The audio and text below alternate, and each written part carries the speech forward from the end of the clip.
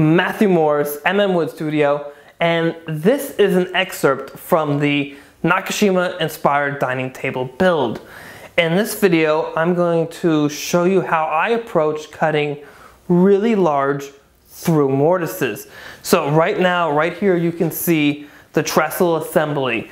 Um, this trestle is five inches tall and its mortise is three inches tall, an inch and a quarter wide, and two and five eighths of an inch deep to accommodate this really large through tenon. So check out how I cut this large through tenon on this big post. After I marked up all these guys, it was time to head over to the table saw because I need to make a whole bunch of parts which are right here. These are a whole bunch of half inch plywood pieces and they're going to make up the base for the router template that we're going to use to help us get some beautifully crisp mortises on these legs. So let me walk you through how I got here. The first thing I did was I took a piece of half inch plywood and believe it or not, I jointed it on both edges on the jointer. And then I took that piece of plywood and I cut a series of strips. The first strip I cut was one inch wide, and the second strip I cut was an inch and a quarter wide, and the third strip I cut was three inches wide. And then at the crosscut sled, the first thing I did was I squared up one end of my one and a quarter inch wide strip, and then I cut a piece three inches tall off. That will be the spacer for the mortise. I then cut two more pieces that were four and a half inches long. And then of my three inch wide strip, I cut two pieces to 12 inches long. And then with the one inch strip, I cut two pieces to 12 inches long.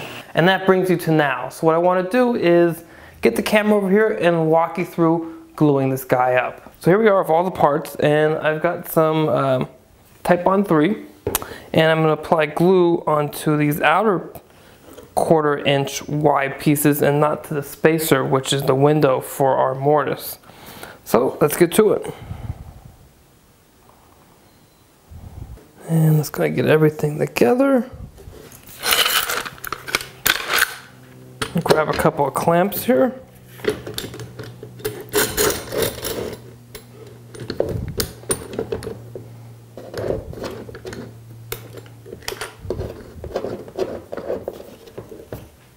I'm just going to make sure everything is nice and flush. Everything's tight against this spacer piece. I'm just going to knock out the spacer. I'll clean up my squeeze out. And I'll let this sit for a half hour or so. Once your base is glued up, go over to the table saw and trim off the ends to make sure it's nice and square. So I'm over here at the drill press and I have chucked up an inch and an eighth Forstner bit. And um, what I'm going to do is just drill a little bit more than halfway down the depth from both sides, removing material. This way it'll help prevent any blowout. And um, can I get the bit all the way through and all the way to the bottom? Sure. I just don't feel like doing it. This is what I want to do instead. So I'm going to, again, drill down a little bit more halfway through, removing waste on one side, flipping it over, and removing waste on the other side. So what I do now is I take the bit and I line it up on that center line that we drew earlier, get close to where my wall should be, and now I know I can drill there.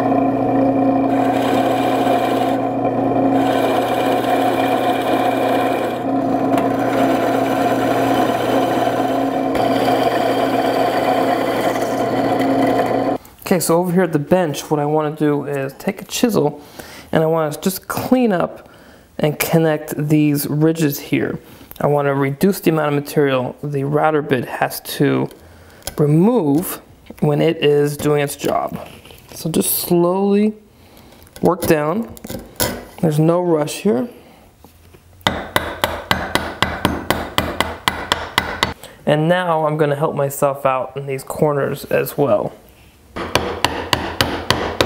The idea behind this is the more work you do now, the less work you have to do with the router, the less strain, the better the that cut is going to be. And that's what we're looking for. Okay, once you've done one side, flip it over and start on the other side.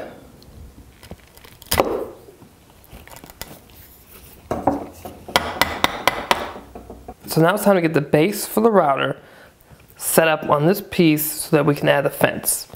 So what I want to do is bring the piece over and just try to align it to those lines I drew. And once I'm close, I'm bring my square over and adjust the base to the square. There we go. Okay, clamp down, I'm gonna double check. That's good. Now come on this side.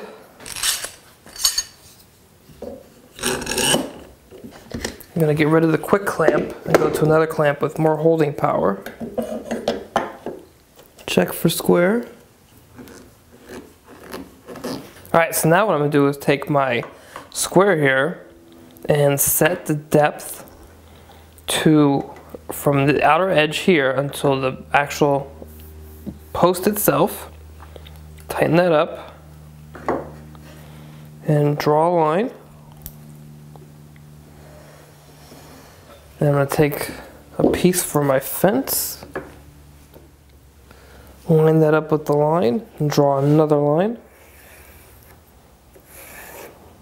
Okay, I've got a drill of a 3 32nd of an inch bit because I'm going to use some number 6 screws here. And I'm just going to drill some holes. These are going to be pilot holes for my screws.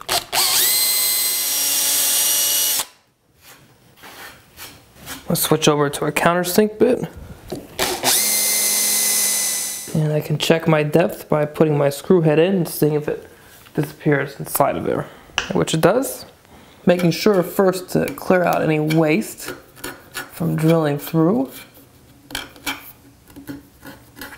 Okay, I'm gonna bring over the fence and two more clamps. And what I wanna do is clamp the fence to the base.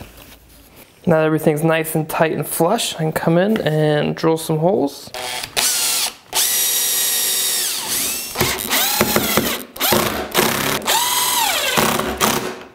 With the jig now complete and most of the waste removed from my mortise, what I'm going to do is take this smaller router of mine and I've got a, a quarter inch shank bit in it. It's got a bearing on the bottom and it's a, a straight edge knife and I'm going to come around and just slowly work all the way around removing the rest of the waste uh, so I get a nice crisp wall on my mortise referencing the hole in our jig that is the window for our mortise size.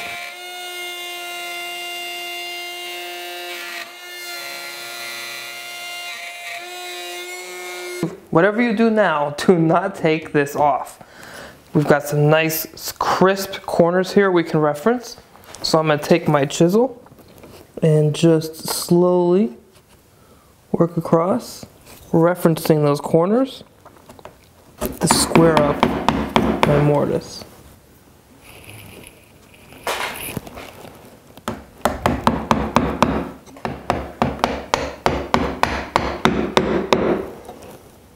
Now I'll come in with a bigger chisel and just reference from the edges and pare down. Just in case I was off by a little bit when I was removing material.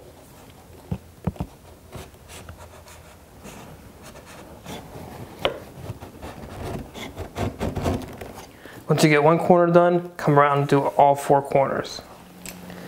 And now you can continue routing away more waste by taking the bearing itself and referencing it against what you just removed. Now that I've removed some more waste, I'm going to come back in with my chisels and continue to uh, go down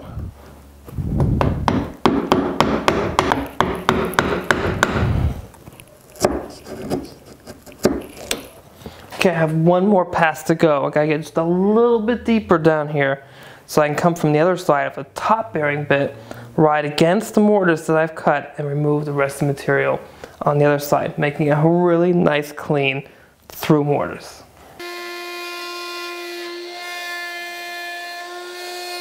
And now the bottom bearing bit, I have the post flipped around and this will ride against the material that we just removed and it'll clean up this side of the mortise. So let's get to it.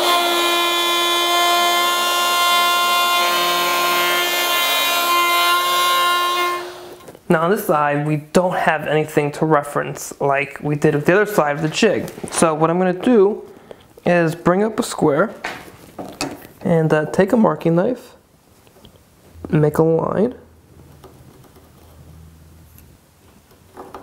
I'll do that on both sides.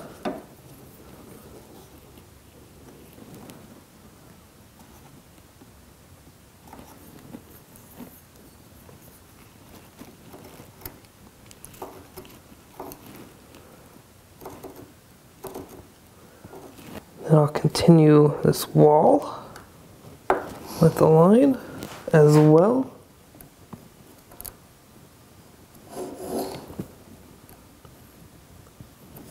Now I can start to work to my lines, or my knife lines that is.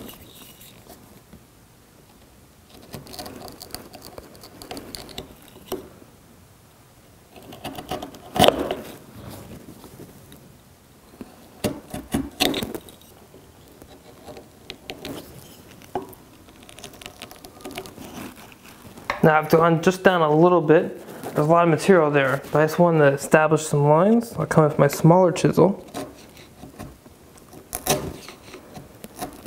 Just work the corners of each of those pieces until less material remains and I can connect everything. There we go, very nicely, just like that. All right, well, I hope you guys liked that video. Um, this is just one way you could approach this. Uh, there's many other ways you can approach this type of uh, through mortise as well. But I hope you found this um, educational and maybe something you can use in your shop one day.